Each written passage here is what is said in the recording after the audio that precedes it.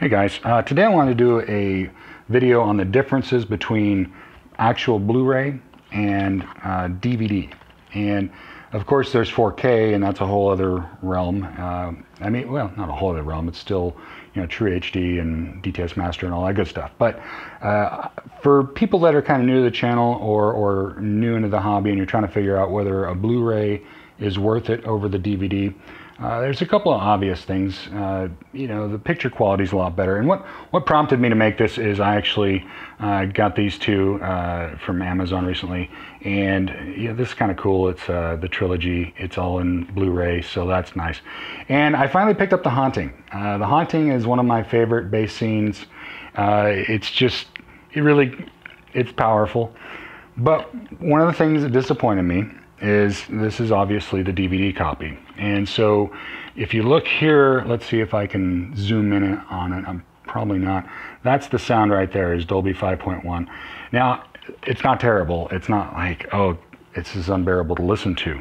But you look on here on the Blu-ray, let's see if I can get a little closer there. All right, that says DTS Master Audio. Okay. Now, DTS Master and Dolby True HD are what they call lossless formats. And what that means is the sound is just a lot better than the regular uh, 5.1 or uh, all the all the basic formats. And of course, uh, as you go on to Dolby Atmos and DTS:X, it's even better, and it's more processed to uh, you know having height surrounds and all that good stuff. But if you're just running a basic setup What's the difference? Well, you get the DTS Master on this Back to the Future movie, which uh, I, I, played it a little bit and it does sound better than I've ever heard it because I'm getting the uh, DTS Master audio. Now, one of the videos I did before was not getting, uh, you know, Dolby Atmos and DTS:X, and that was because I was well. There's actually two reasons. I was running the uh, Blu-ray player through the TV first, and then through the ARC to the amplifier. Come to find out, see, I, I wasn't that big on movies, believe it or not, until I started doing this channel. I used to be just mostly music. That was my big thing. And, you know, if you're not paying attention, this is something you can easily miss. So I realized after looking at it, because I, I did the whole Atmos thing and I, I was, I wasn't disappointed, but I wasn't like awestruck like I've seen some reviews. And I was just like, something's wrong. So I got to looking at the uh, manual and find out, well, if it's if you're getting Atmos, it'll display Atmos. Oh, so I wasn't getting it. So I ran the Blu-ray player directly to the amplifier, and I it, it got a little bit better. It said, you know, went from just regular Dolby Digital on the 6200 to saying uh, uh, Dolby Digital plus DTS2. So it was better, but it still wasn't getting the Atmos signal. So Come to find out, there's this uh, filter setting you have to change in the Blu-ray player. It comes standard to where you can't get uh, the higher end formats.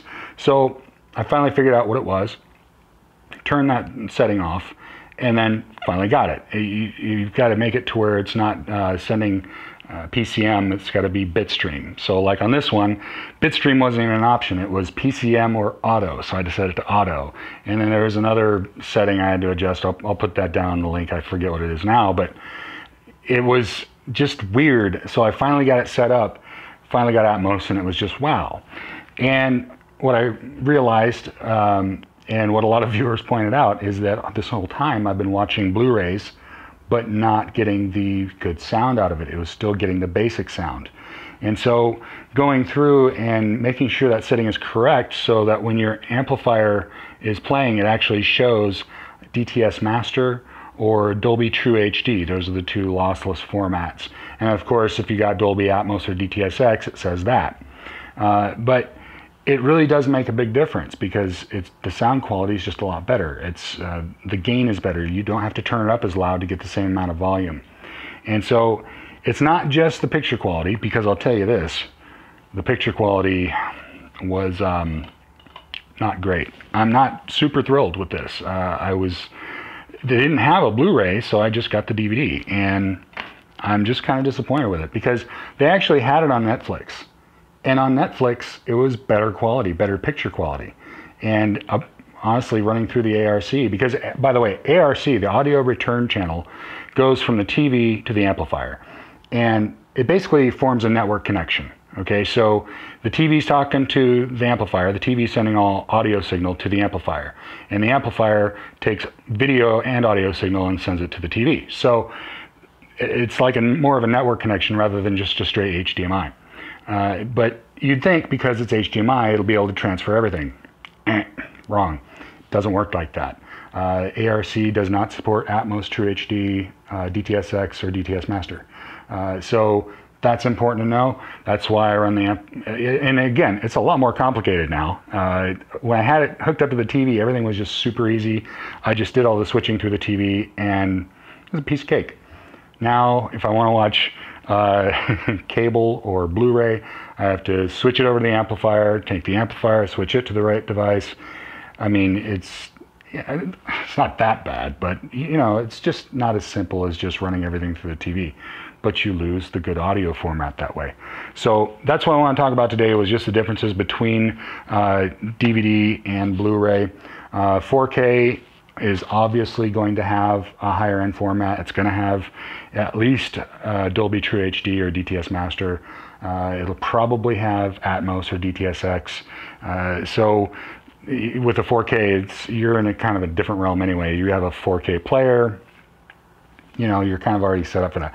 But even so, your 4K player may still have a default in there that doesn't allow uh, the master, the True HD, DTS:X, and Atmos to go through even if you hook it directly to the amp. So that's one of those things to look for. Uh, it's it threw me for a loop. It's one of those things where, you know, I'm not exactly, uh, uh, I don't know, I, I kind of pay attention to this stuff. So you'd think that I would have known this a long time ago, but I missed it. So if I missed it, I know other people have missed it. So that's one of those things to look for. And you know that's again the primary difference between the Blu-ray and the uh, DVD. It's not just picture, but it's also sound. And but to get the benefit of that sound, you got to make sure the settings are correct. So anyway, uh, that's just a quick video I wanted to do. Uh, I appreciate you guys watching, and please subscribe.